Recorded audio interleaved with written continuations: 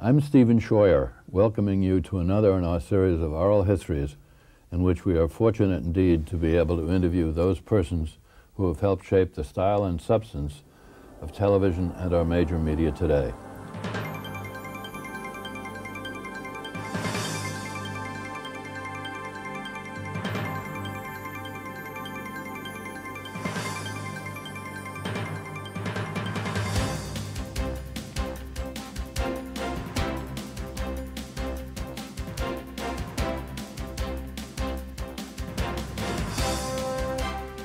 Thrilled to have you with us on your 83rd birthday, and this is May 9th, 2001.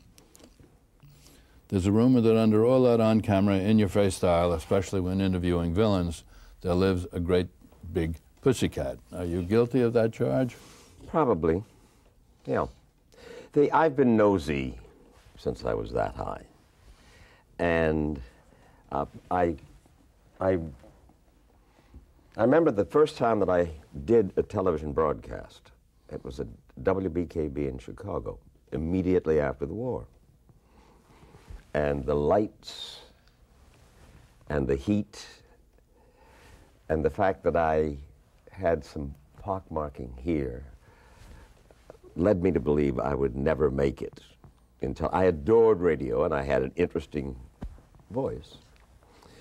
And um, little by little, because you couldn't do anything wrong and you couldn't be excessively ugly on television, little by little I found my way. And that, of course, was an extraordinary time in television. Uh, Dave Garroway at large, Kukla, Fran, and Ollie. Making up the medium as they went along. Absolutely. Absolutely and, true. And a lot of wonderful work was done in Chicago, which oh, most folks don't realize. The so-called Chicago School developed their Studs Terkel. There were such a crowd of us just trying to find our way. And back in those days, it was all right if you could do news on radio, and I worked for a man by the name of Clifton Utley at the Chicago Sun, who was Garrick Utley's dad mm. at the time uh, in radio news, but also I announced Sky King, brought to you by Peter Pan Peanut Butter. And uh, back in those days, you could do anything.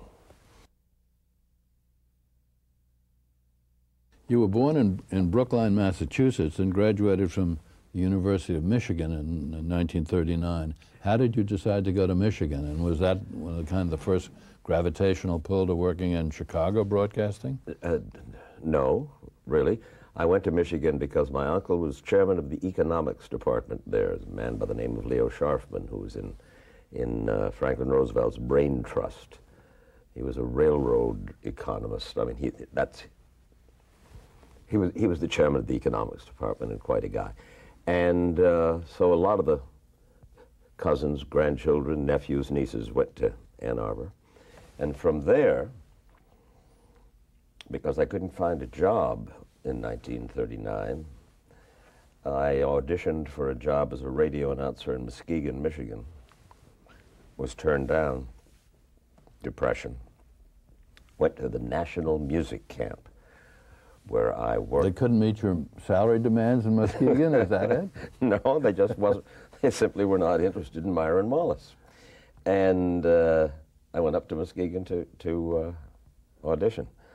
And uh, so a fellow by the name of Joseph Maddy, Professor Joseph Maddy, was running the National Music Camp up in Interlochen, Michigan. And I had done some things with him and for him. Uh, Fun in Music was the name of the, of the series that we did. And I was the announcer on it. And he said, well, Myron, come on up come on up to Interlochen. I'll pay you 25 bucks a month and room and board, and you'll work with your good friend Jerome Wiesner. Jerry Wiesner. Very distinguished scientist who was the head of MIT some years later. That's correct. So Jerry, I was Jerry's assistant at the National Music Camp in the summer of 1939. Just in helping him understand quantum physics, I assume. no doubt, no doubt. He was actually, he was the engineer in the campus radio station back then in Ann Arbor. and walked around with his meerschaum pipe and his dog, his St. Bernard Thag. In any case, I had a good time up there. And suddenly I received a note from the professor at Ann Arbor with whom I worked, Waldo Abbott, who was the chairman of radio television, didn't exist back then. And he said, uh, There's a job open at WOOD in Grand Rapids. They want you to come down and audition. So I got on a train, went down there, and that's when I began at 20 bucks a week at WOOD as Myron Wallace. I wanted to change my name because I didn't particularly like the name Myron. But there was a Scotsman by the name of Sandy Meek who said, no, no, no, Myron, Myron, that's, there's quality in that. And so Mike didn't take place until I moved to Chicago. What would prompted your move to Chicago? I came to Chicago because a woman by the name of Irna Phillips, who wrote soap operas, fell in love with my voice. The doyen of soap operas for That's a long correct. time. My, my. And she needed somebody to uh, narrate the road of life, the story of Dr. Jim Brent, brought to you by Chipso, C H I P S O, Chipso for your, in any case. And so she persuaded Procter and Gamble to uh, hire me, having come down from Detroit WXYZ, where I was the news ace, uh, to uh, for I think it was I think it was 112 bucks a week, which was huge back then. And I, I did commercials, and then I also began to do news on WMAQ, as you pointed out, which was the NBC affiliate there. And that's when I really first got into, into television. Uh, not news, interviews of a sort, uh, a couple of game shows.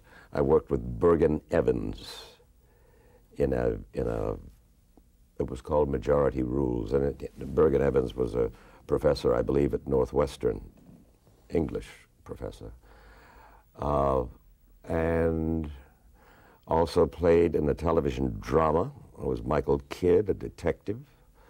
I was doing commercials for Peter Pan peanut butter and doing the 11 o'clock or the late news. I forget whether it was 10 o'clock or 11 o'clock news on Fairly literally a Myron of all trades at That's that exactly time. right. And it was still Myron. It was only later that I. How important was for you, as you, in your training, as you look back on it, was your stint at the Chicago Sun, the, new- the uh, Well, Sun working Times? with working, I, I worked with Clifton Utley, who was the the H.V. Kaltenborn of Chicago at the time. He was a fine, fine man. Garrick's dad. Uh, and anybody who worked with him was bound to learn a great deal. Uh, and this was purely radio. This was still radio. But in that, on that group, on that staff, were Bill Costello, who later became a very well-known and important news correspondent at CBS, a man by the name of Albert Parry, who was a Russian expert, Arch Farmer, Mike Connor. I should remember Bill Croker. There- we, we had, we lived up at the top, we worked up at the top of the Daily, Chicago Daily News building. Mm. And we were on the air on the, every hour on the half hour, all day long. At a radio station called WJWC, the, the initials for John W. Clark, who ostensibly owned the, the radio station. Actually, it was a Marshall Field radio station. And uh, little by little, I began to find my way and knew that I rather enjoyed doing And you got a discount at Marshall Field department no, store, so no, life was no. very good. Unfortunately, no. But you didn't stay there very long, because by 1951 you were in New York. That's correct. At. CBS. Back in Chicago, I had worked for the Bond Clothing Company. Did the news for them, and that they were the sponsor on WMAQ. And they wanted me to come to New York to. They wanted to sponsor a newscast with They had a very big presence in New York at the time, Bond on Broadway, a huge That's store, if I correct. remember. And so uh, I did good commercials. That's why they wanted me.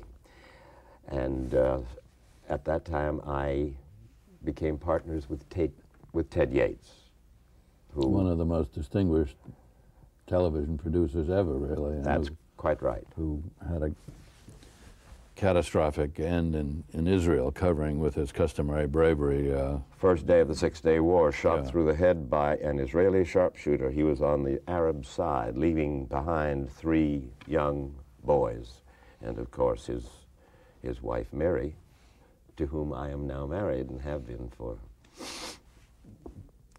16, one of the loveliest things years. that ever happened to you, Absolutely and right. deservedly. Absolutely right. And how did we get from there to Dumont and your Night Beat show, which launched Well, your well, what happened in was such a big way? we Ted and I did the seven and eleven o'clock news on Channel Five, which was Dumont.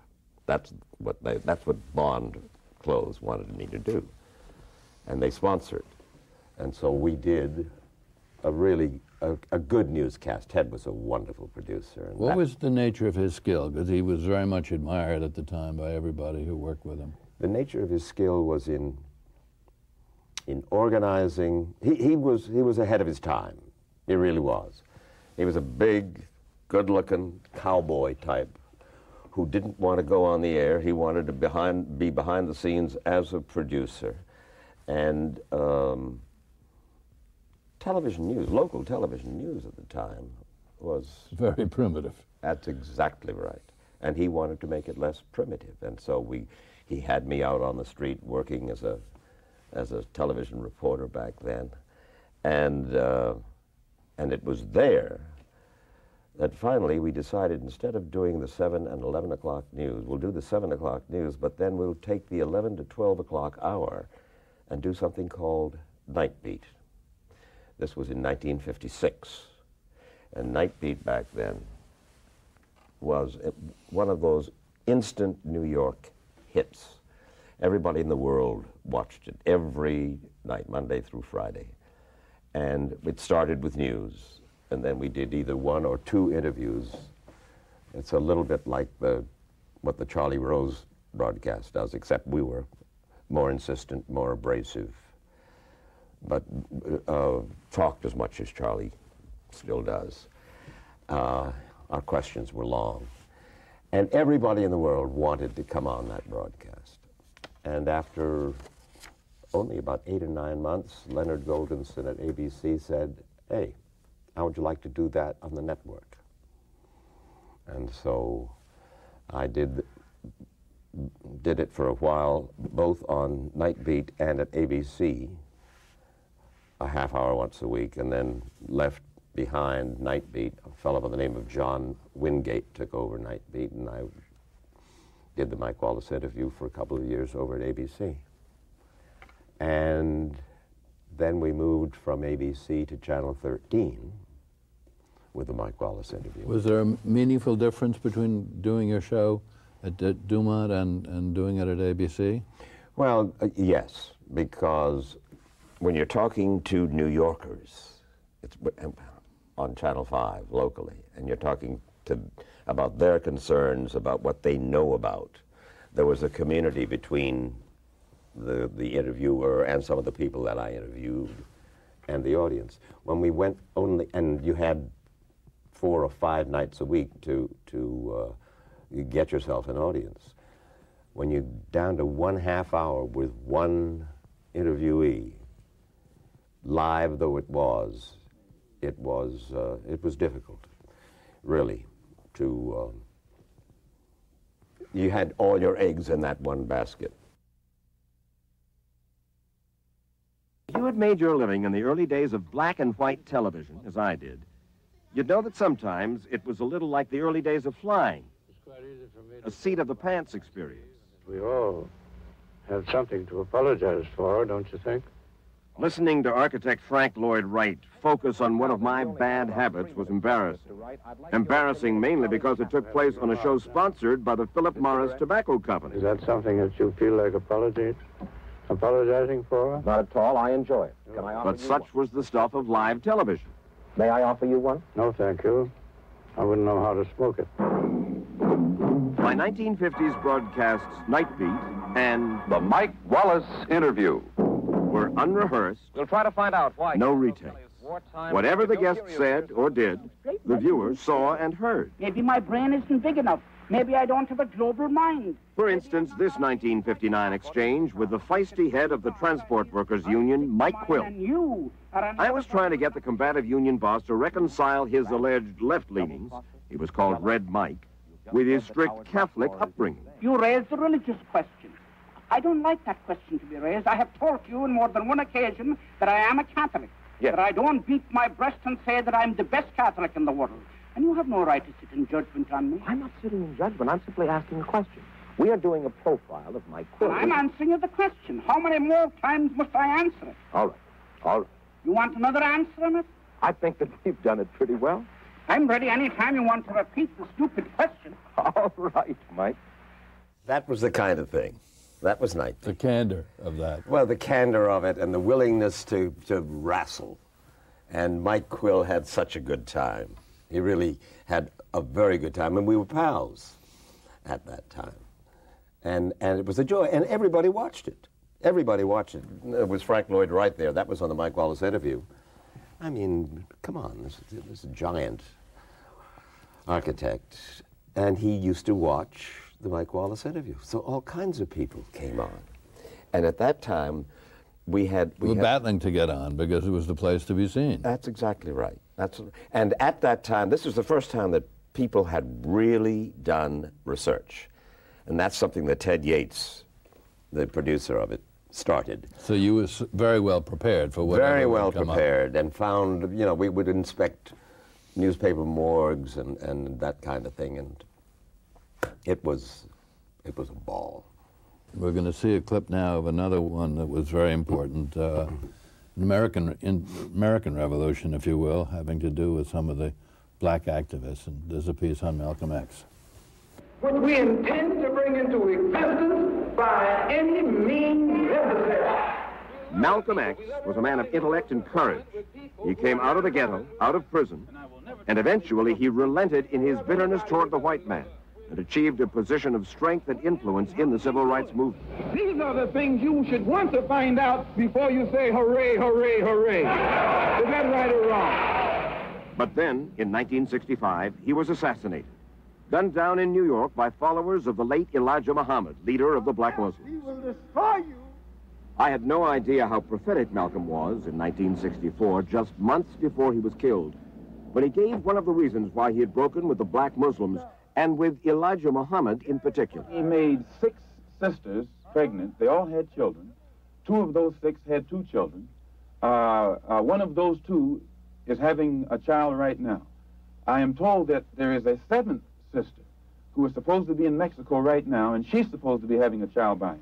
Well, do you feel perhaps that you should now take over the leadership of the black Muslims? No, I have no desire to take over the leadership of the black Muslims, and I have never had that desire. But I do have this desire. I have a desire to see the Afro American in this country get the human rights that are his due to make a complete human being. Are you the least bit afraid of what might happen to you as a result of making these revelations? Oh, yes, I probably am a dead man already. And that was uh, about five, six months before he was killed. He was a friend of mine. I couldn't, when we did a piece called The Hate That Hate Produced in 1959, Ted Yates and I, and a reporter by the name, a black reporter by the name of Louis Lomax, whom we had hired. He was, I mean, you didn't hire black reporters for white television back then, and we hired Louis, who was a first-rate reporter. And he told me I didn't know anything about the black Muslims. White America didn't know at all. And a lot of black America didn't understand fully the impact of that. The, uh, we did a, we, when I first told the story, Jack Gould, then the television critic of the New York Times, raised the Dickens about this, my penchant for sensationalism and talking about the black Muslims and, and in effect giving them a certain legitimacy that they didn't have. And He was so desperately out of touch with what was going on. yes, he was. He was. It took them six months And finally, they had a front page story about the black Muslims. And at the very bottom of that, after we, I reminded them I had seen the Bulldog edition and they hadn't said anything about, about the piece. We did that at uh, 1959, yeah, at, at uh, Channel 13.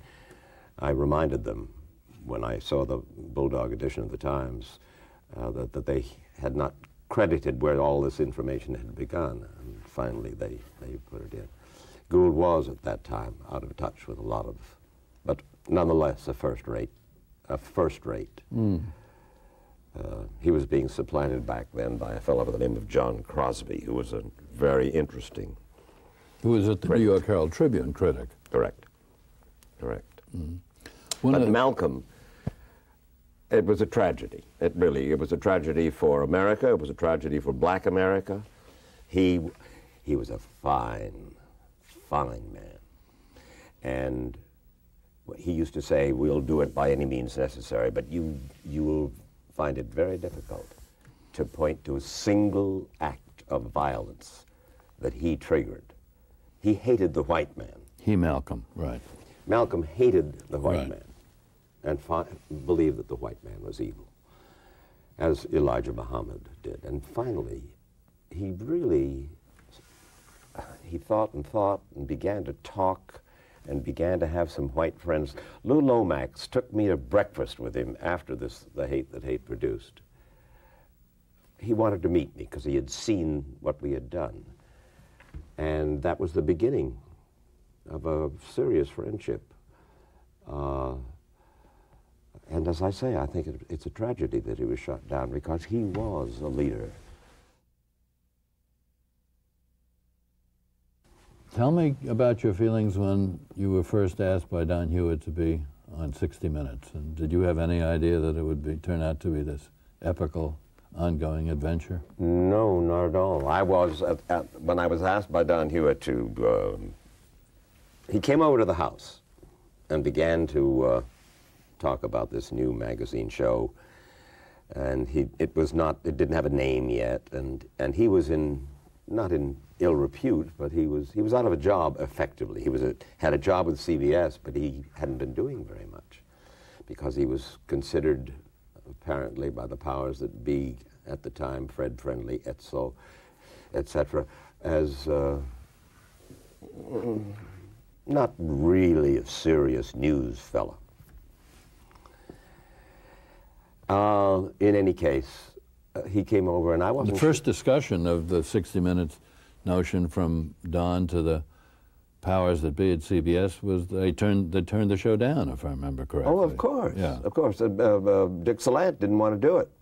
Did not want to do it. And only later, and Hewitt tells the story, only later when he heard that uh, Fred Friendly had turned it down, when Salant heard that, Right. he said, well, under those circumstances, because there was a certain tension between Friendly and Salant, uh, that he decided to go ahead with it.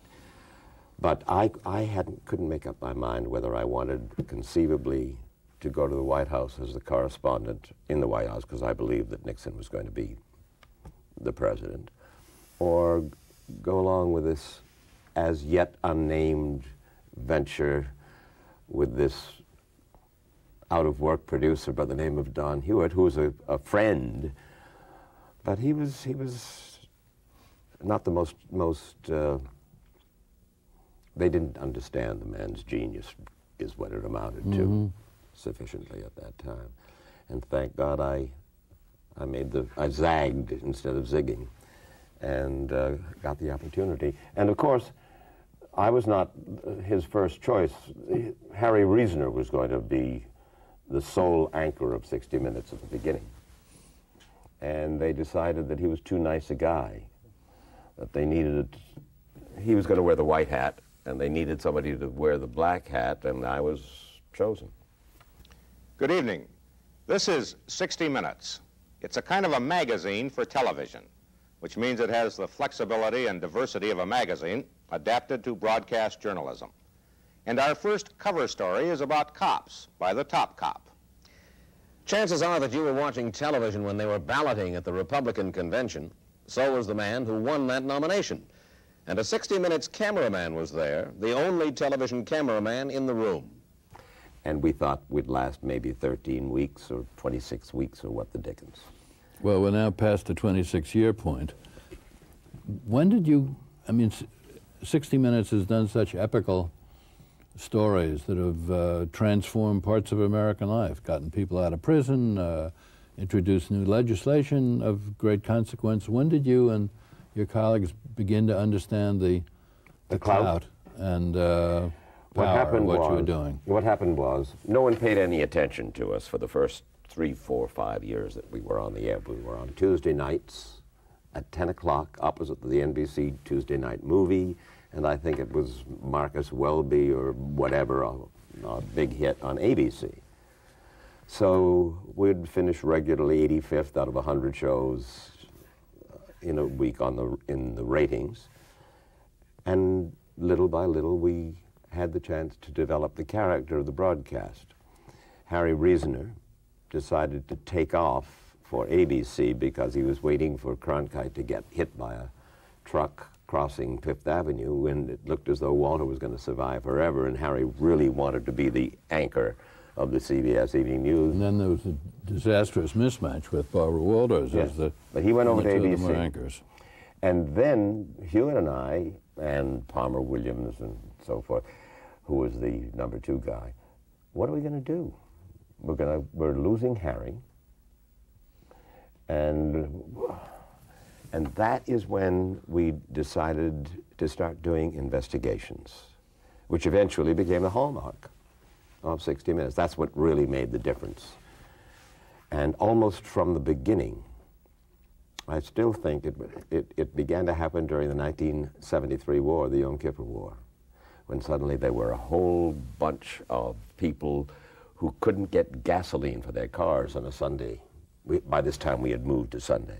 And they couldn't get gasoline for That was a pivotal event, though, in the history of the show, moving to Sunday, Sunday night. 7. Right. A fellow by the name of Oscar Katz, who was the head of, of, uh, of research. You should talk to him. The head of research at CBS at that time. Be hard to get to Oscar. He's moved upstairs.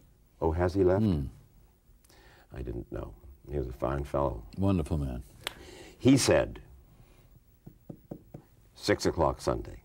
And that's where we went first, and then, of course, later on moved to seven o'clock Sunday. He said, believe me, it will do very, very well there. So there we are on Sundays, and the, there was no gasoline, so people were stuck. They couldn't go to grandma's in the car on Sunday afternoons, and they began to look at their television set, turn the dial and see what was on, and we were on. And suddenly, I'm quite serious, you could see the ratings went like that. And by that time, we knew who we were, and we were doing all manner of things that had not been done in television investigations. What was a piece of yours, one or two of your early pieces, that helped you understand the extraordinary impact that 60 Minutes was having? Uh, a, a couple of them. A couple of them. One was something called false ID, in which it became quite apparent that you could make a false, you could get yourself false ID, and under those circumstances, you could you could uh, cash checks, you could uh,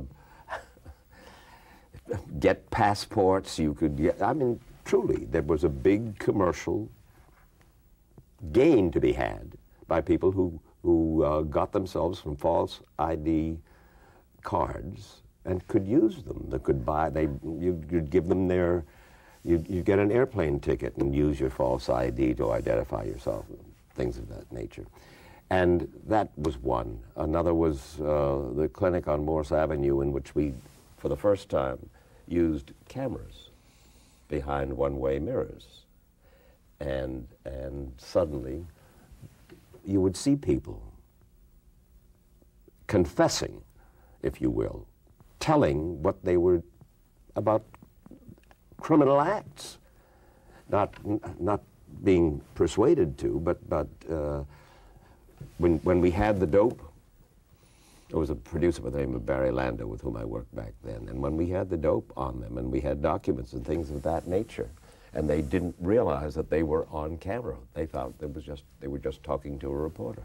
We have another uh, very interesting clip from 60 Minutes if you're uh, interviewing then President Nixon. There's been so much talk in recent years of style and of charisma. No one suggests that either you or your opponent, Hubert Humphrey, have a good deal of it. Have you given no thought to this aspect of campaigning and of leading? Well, when style and charisma connotes the idea of uh, contriving of public relations, uh, I don't buy it at all.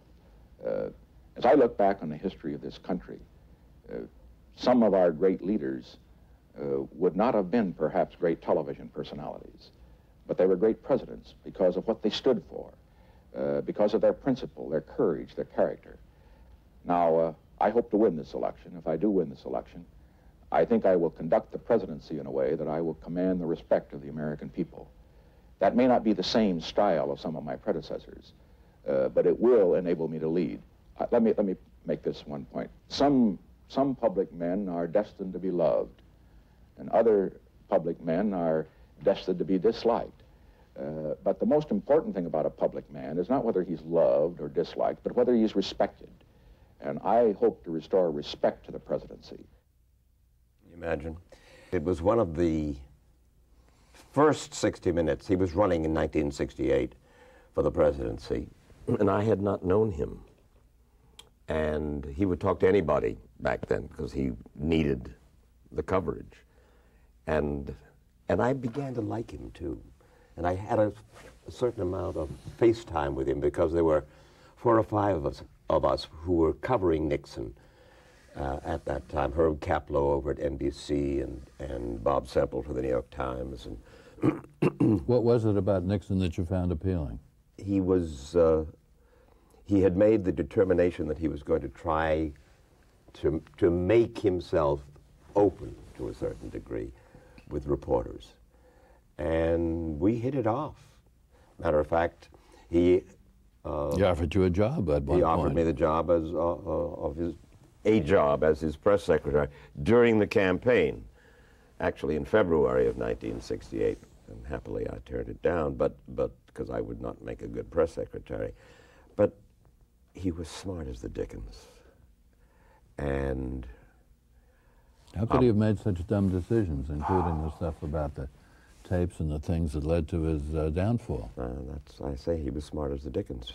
You're smart as the Dickens, and so am I, but think of all the errors that we've made along the way, Steve. The, the, you know something?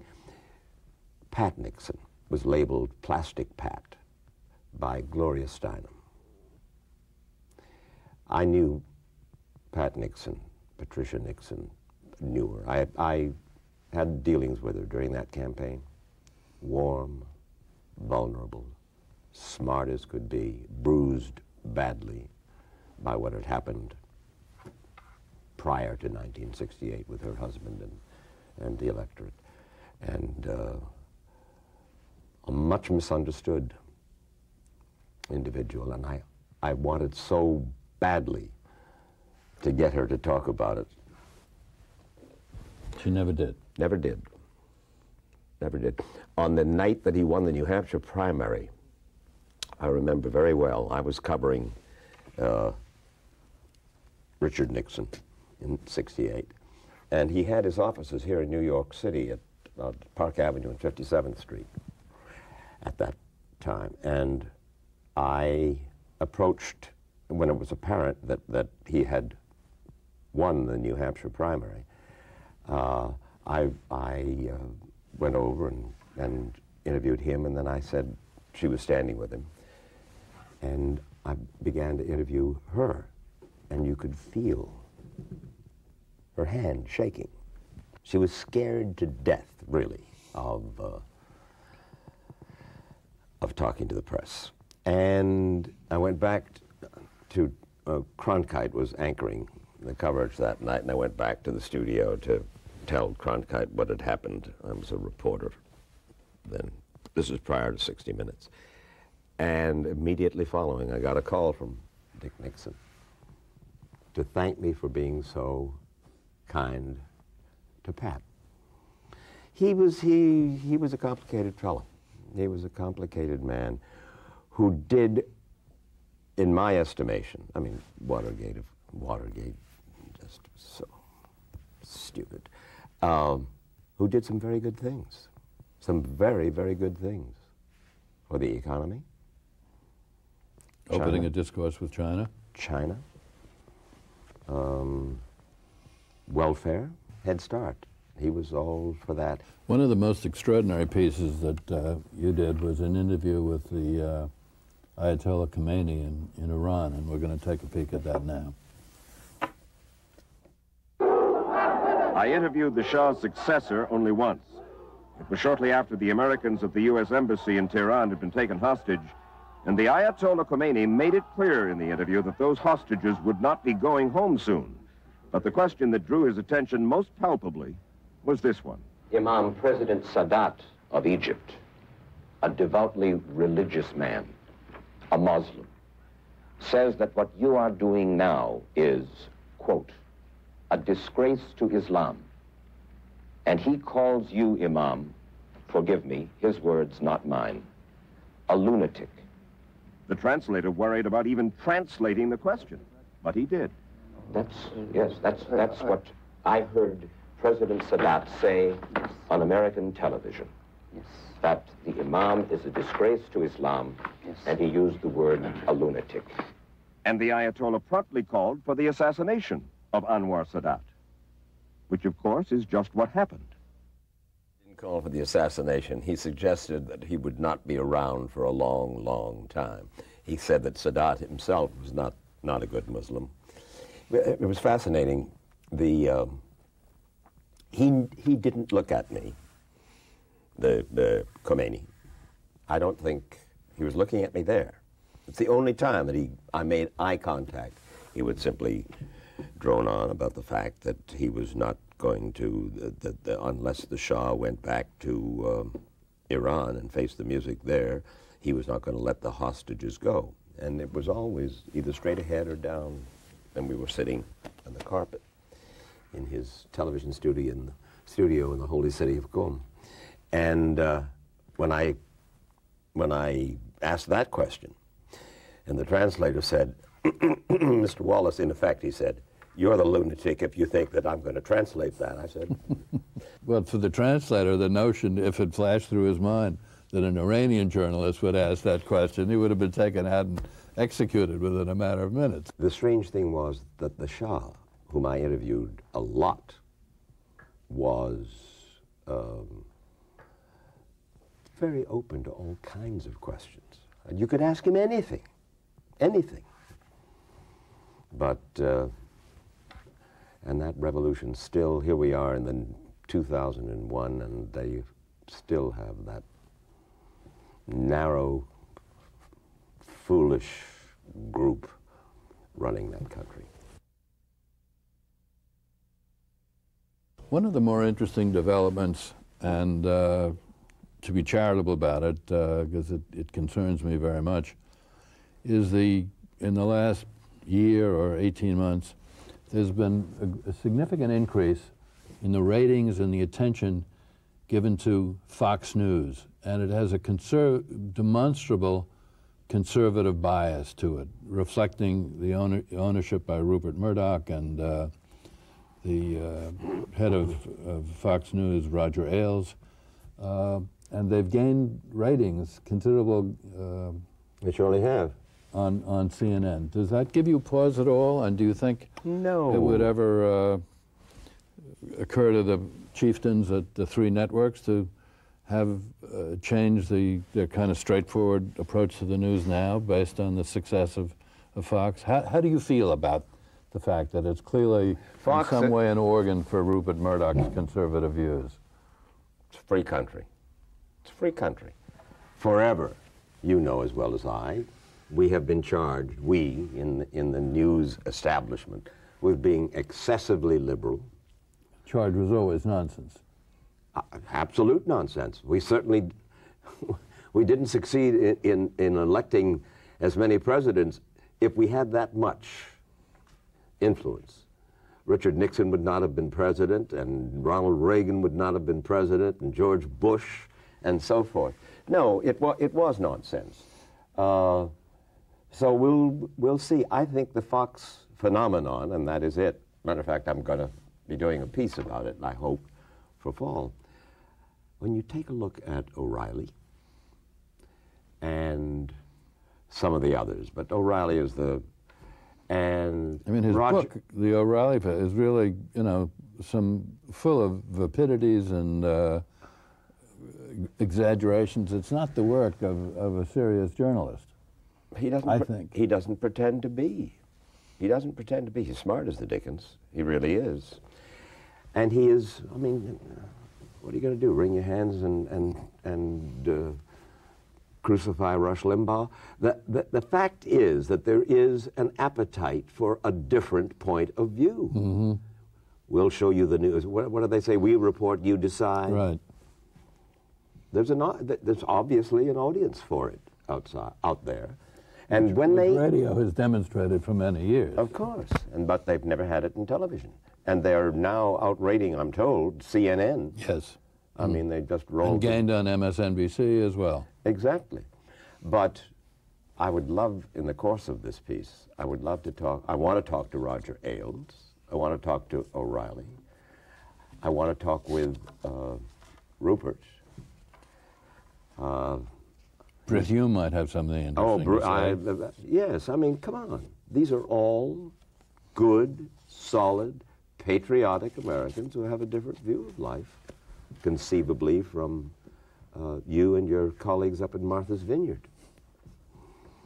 well, where the gospel is preached by our pal Art Buchwald. That's and- co- and William Styron and and so forth. Right. I mean, come on. That's that's. Uh, although, when you talk about the the vineyard, Edgartown, of course, is the home of. Uh, it's a Republican stronghold, but but the, the Eastern establishment liberal crowd.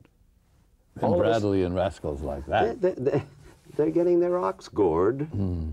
and it's about time that there was somebody who did to them what they had been doing to the other side for such a long time. Mm-hmm. One of the ironies of, of television news, it seems to me, and has seemed to me for a long time,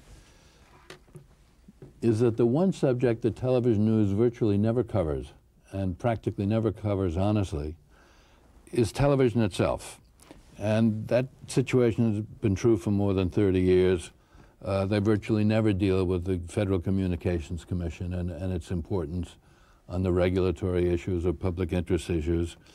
And there's been virtually no commentary on, uh, on the networks about the profound shift in, in broadcasting and cable over the last decade, where more and more power and outlets are concentrated in fewer and fewer hands, whether it's Viacom and your CBS colleagues, or uh, Disney, or Rupert Murdoch and AOL Time Warner. Uh, do you think that's healthy? No, I don't think it's healthy. I don't. You, you know what um, TiVo is? Yes, indeed. Do you I have one? Do you Yes. use one? Yes. You do. I, I've never been able really to, to uh, understand how to put it together. So. But uh, I'm going to go to MIT for two weeks to take the course, and then I'll come up to Martha's Vineyard and show you how to run it. Very good. Look, when we when there was talk about TiVo, and we decided that we wanted to do a piece about TiVo, Mm-hmm. I talked with Les Moonves. CBS has a small investment in TiVo. I'm sure all the networks do. And they have and they have a big investment in not letting people have equipment that will let them erase the commercials too. They haven't figured that out either. That's the point. That's the point. The, the fact is that you can zap commercials with TiVo. So they are not comfortable with it. And there's all kinds of talk about what will replace commercials. How will they pay for programs? Is that going to make for more pay TV for in, instead of having commercials pay for TV, have the audience pay for TV? There was no objection to our putting the piece on the air, I must say.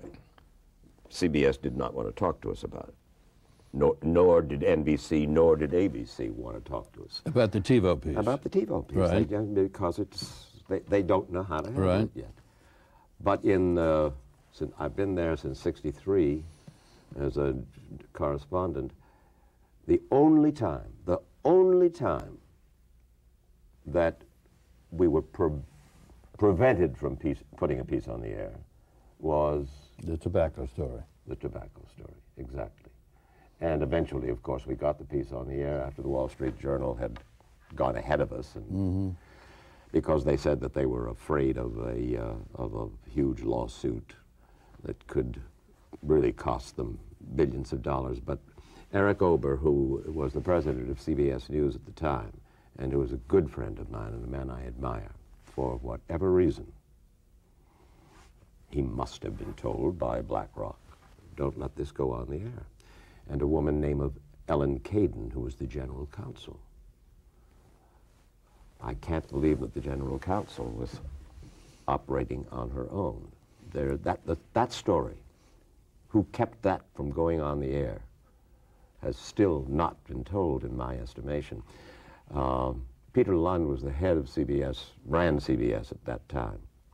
And I said to Peter, and he, he thought probably that I was, if, I, if he didn't grant me this permission, that I was going to quit. It was not my intention to quit. I figured I could do better by staying and fighting inside. And it turned out that we got the piece on the air eventually.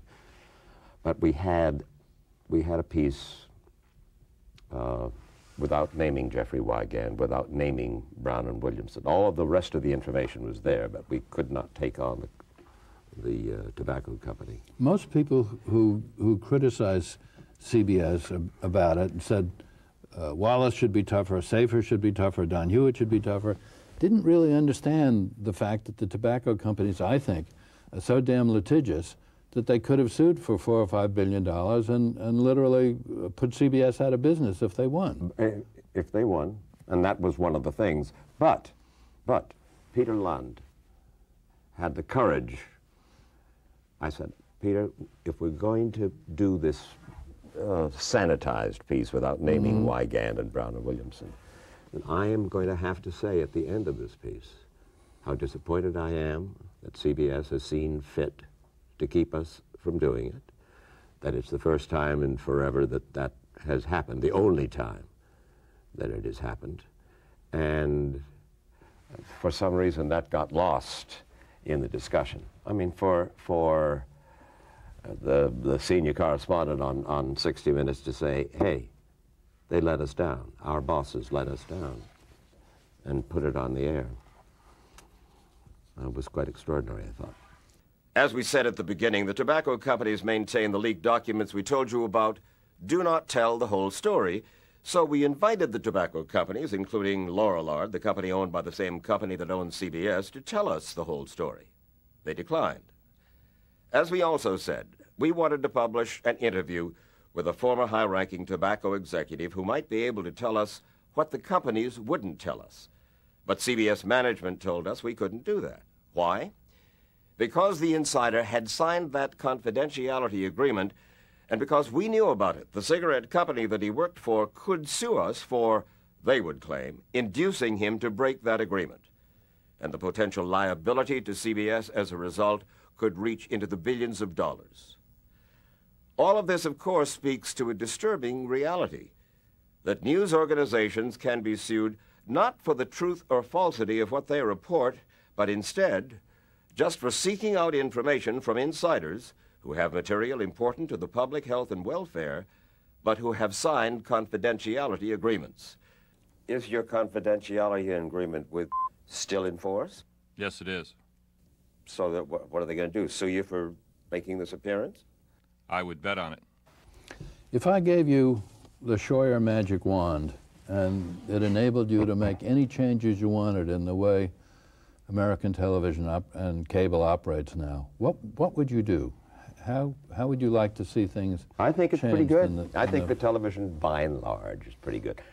I deplore the fact, as I said, about the, the there's only one word for it, the crap that is on afternoons. Um, the violent stuff in the evening bothers you less. Uh, it it bothers me less than that. Yes, it Mm. does. I confess that it does. I wish that we that it was not as violent, and we make all kinds of promises all the time. I say we. management, and then, and then the question of censorship gets involved, and then the question of money gets involved, and Congress, and, and so forth. But by and large, it's a pretty good menu. You want news, you want serious news, you got it. The evening news is a pretty darn good broadcast. In the very day that we're talking, uh, NBC has named Andy Lack, who's the head of, who was at this hour the head of CBS New, of NBC News, to be uh, maybe the designated heir to the entire NBC operation. I think Andy's first rate.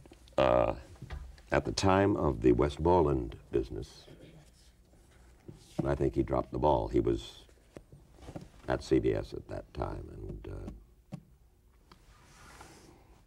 he could have been helpful, more helpful at that time. But he is, uh, I admire what he has done with NBC News. Uh, I think that CNBC and MSNBC are, under the circumstances that, that exist, you've got to make a living, if you're going to, and, and as you go around the country, particularly, I mean, around the world, particularly in Europe, you see NBC all over the lot. I deplore the fact that, that Larry Tisch saw fit to kill any kind of cable operation, and we've been trying to play catch up ever since. Unsuccessfully. Yeah. Yeah. Apropos of Tisch, do, when, I mean, you have such a unique uh, understanding of that, starting with the years when it was run by William Paley, then Lawrence Tisch, and then West, Westinghouse uh, owned it, and now Viacom. Were there any meaningful changes that you folks in the news division felt as the ownership of the changed from the Paley years? Oh, of course. Uh, as far as I'm concerned, Larry Tisch was a, a disaster for CBS altogether. For what reasons, other than the fact that he cut the overseas Money. news bureaus money, a lot? money, money, money. He just, and there's nothing wrong. There was some fat there, but uh, he uh, he impressed me immensely when I first met Larry Tisch. I figured he had all the money in the world, and now he was going to take what was the Tiffany Network and the finest news division in of all three, and he's now going to luxuriate in the opportunity to be to continue the Paley Stanton tradition. And he lied. And he and he uh, to some degree anyway uh, set about disemboweling the news division. For a great many years, the glory of television, surely in the 50s and 60s, uh, was the extraordinary quality of the CBS News staff, not only the executives like uh, Fred Friendly, but you know all your colleagues, Murrow and Eric Sevareid and uh, Oh, and, uh, you, can know, go. Charlie and uh, Cronkite, Collingwood, Winston Alexander Dean, Burdett. all of uh, those. I, I think that that team is is not anywhere to be found today. Are there Anywhere. Are there young journalists that you admire now who you think? Uh, You know who I admire? Potential? I, I think one of the best White House correspondents I've seen in forever is a fellow by the name of John King at CNN. Mhm. He's a good stand. I saw him just yesterday interviewing um, the Vice President, Dick Cheney. He, he knows his story. I've seen him with Clinton. I've seen him with Bush. Um, and he must be, I don't know, and I would imagine probably still in his 30s. Uh, look, we have fine people, truly. I don't want to protest too much, but we have fine people at CBS still. Um, it's not like the old days when on the Cronkite News, the CBS Evening News was Walter Cronkite and Charles Collingwood in whatever, Winston Burdett at the Vatican, Nelson Benton in, I mean, face it. There were brief moments in television news where where people uh, were given the opportunity to do short but television op-ed pieces. Oh, Eric Sevareid did Sever- it. John Sevareid did. Chancellor, Bill Moyers. Why do you think there's nothing like that on the air now? I don't know. Would you I like to know. see it? Of course I would like to see it. But they, I, I think that they believe that they believe that there is not the audience out there for that kind of thing. Look, the evening newses don't have the clout at all that they used to have. When you think about the fact of a Cronkite and a Huntley Brinkley and a Howard K. Smith, let's say, I mean, that they, there are now all kinds of anchors and all kinds of believable or of just some degree unbelievable Mhm. individuals anchoring the newses. And um, there is not the willingness to spend the money that you have to spend in order to produce.